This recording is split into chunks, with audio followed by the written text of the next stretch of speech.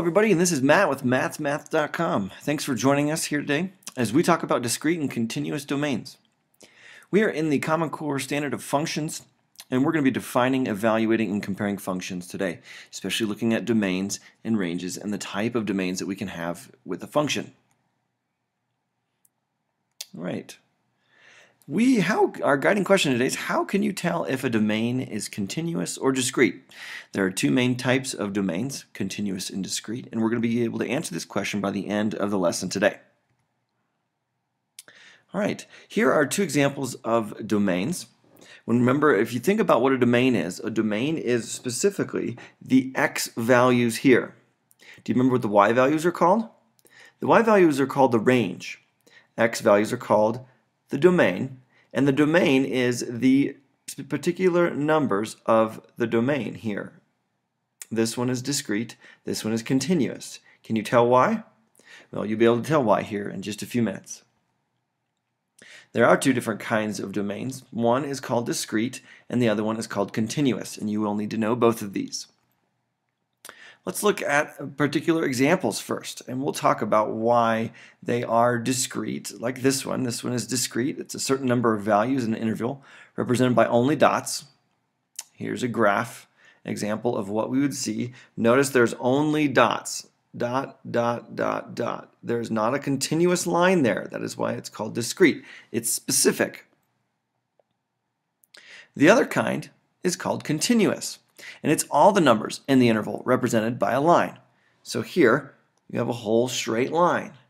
Every single number is represented there from 0 to 10.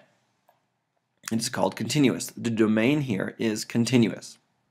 All right, here is an example. You and your family are going to a concert and you spend $16. Each adult ticket is $4 and each child ticket is 2 How many adult and child tickets did your family buy? So what are all the possibilities that you could spend? Well, first, let's write a function for this. Let's make the adult tickets x and the child tickets y. Well, 4x plus 2y is 16. This is our function. $4 per adult ticket plus $2 per kid ticket equals a total of $16. Well, how many can you possibly buy? Well, let's make a table. Let's think about it this way. If we had zero adult tickets, that would give us eight child tickets. One adult ticket, six kid tickets. Two adult, four kids. Three adult, two kids. Four adult, zero kids.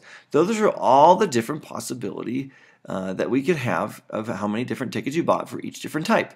Now, if we graph this using 0, 8, 1, 6, 2, 4, 3, 2, and 4, 0, here is what it looks like. Notice the particular points. One there, there, there, there. There are five specific types of dots on this graph. Why is that? Why couldn't I put a line all the way through? Well, for starters, this is a discrete domain. It's a discrete domain. There are only a few points in the domain here, drawn with dots. If you think about it, you can't have maybe half a ticket. If you think about this, you can't have half a ticket or two and a half tickets. You have to buy a whole number amount of tickets. All right, this domain is discrete. What about this one? Let's do this example. You're buying cheese. Yummy. Swiss cheese is $4 a pound, while cheddar is $2 a pound. X is the number of pounds of Swiss, and Y is for cheddar. You spend $16. How many pounds of each could you buy? Well, notice, this is the exact same equation we just did. 4 times X and 2 times Y, add them together, and you get $16. Well, would you solve that for Y equals mx plus b? Put it in slope form? All right, what'd you get? Did you get this? Should have gotten y equals negative 2x plus 8. Now this is a little bit easier to graph than before. We don't have to do a table, right? We can just put this in the graph and let's do that. Here it is.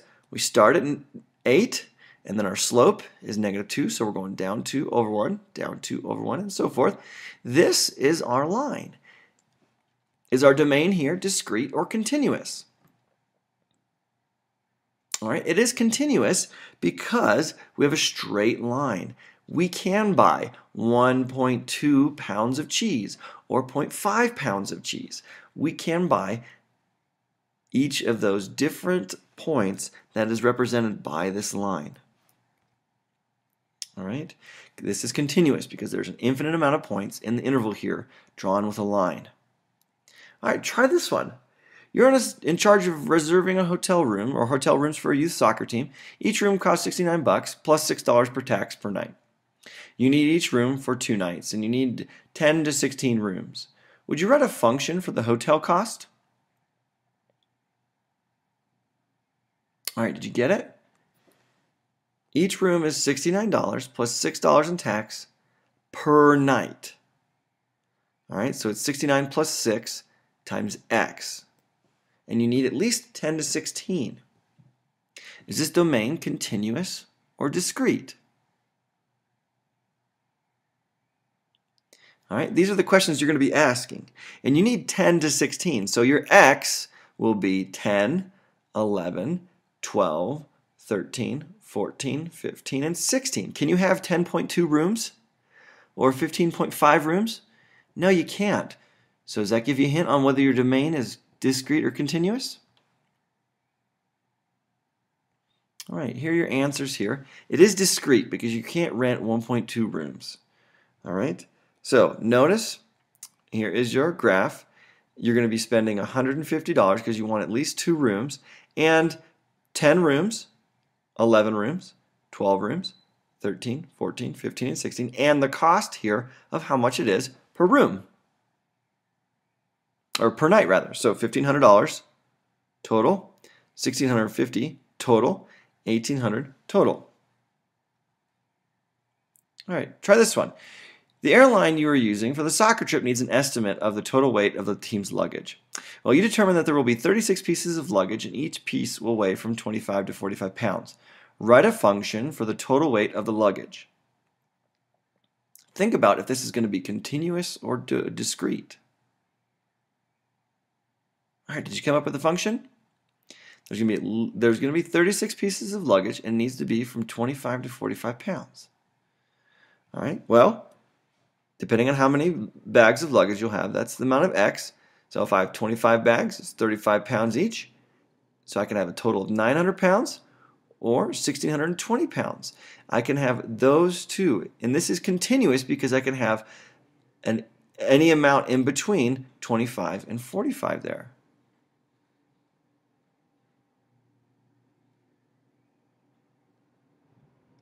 All right, have you figured out the difference between continuous and discrete? Well, looking at these specific examples really helps. Thinking about, can I have 0.5 of something, or half of something, or a quarter of something? If you can, then it's most likely going to be continuous. If you can't, like in the hotel room example, it will most likely be discrete. Here's an example now here. The function c equals 20 plus m 10m, represents the amount of calories you burn after m minutes of exercising. Graph the function using a domain of 0, 5, 10, and 15. Is the domain discrete or continuous?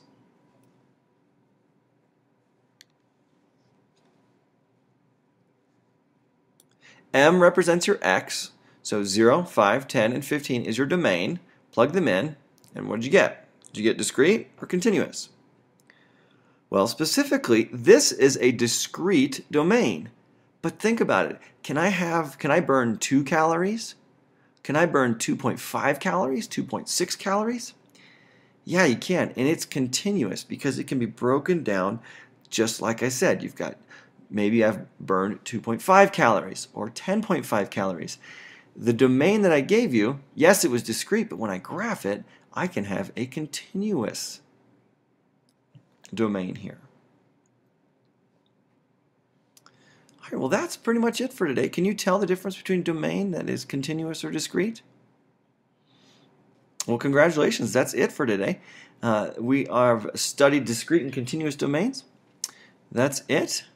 This is Matt with mattsmath.com. Check us out on Facebook at Solving Maths Problems and enjoy math.